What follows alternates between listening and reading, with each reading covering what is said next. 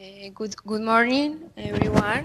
I am Carolina Ortega. I am a studying environmental engineer at the University of Antioquia in Colombia. And I am here uh, representing by my, my youth mapper chapter. And this project is, is um, has, be, has been uh, proposed by our um, regional ambassador, Maria Fernanda. So this project is COAS Map Urabá, humanitarian mapping of COAS wetlands and fishing livelihoods uh, for resilience to clim climate change and variability Colombia.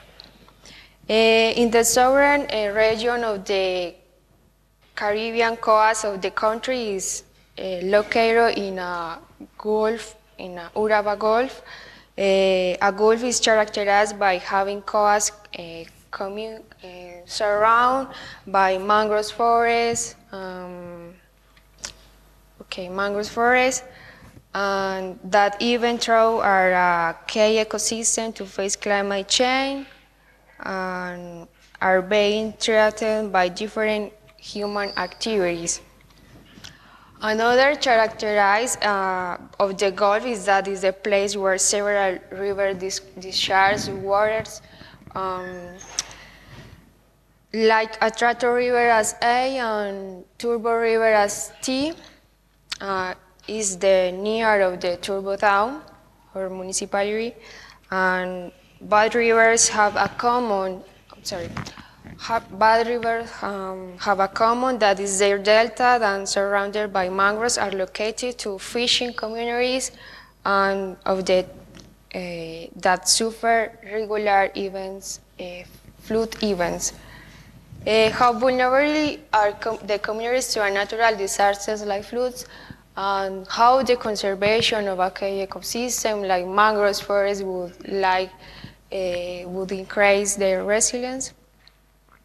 Our methodology is uh, data collection, socialization of the technological, technological methodologies with the community, remote mapping, uh, field works and surveys, integration of the information, creation of open source maps, and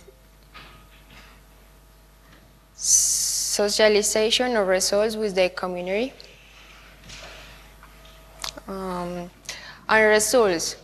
Uh, that service is economic activities in, in the Bocas del Atrato is uh, the most important or the main activity is uh, fishing using in blue and the turbo is uh, fishing and uh, is in blue and other activities uh, like wood curing is, uh, is an orange uh, color.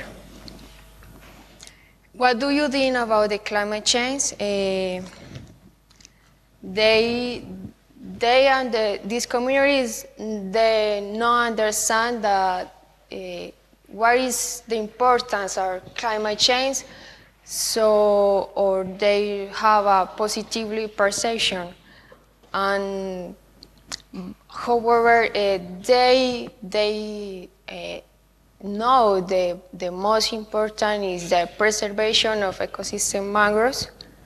And the finally, we corroborate uh, the mangroves forests are a key, the, the element for the resilience of the community. Many social factors increase the vulnerability of the community to uh, natural disasters and caused by floods. And now in Colombia, different governmental decisions uh, for a project is a great place to, to keep uh, uh, working. Thanks.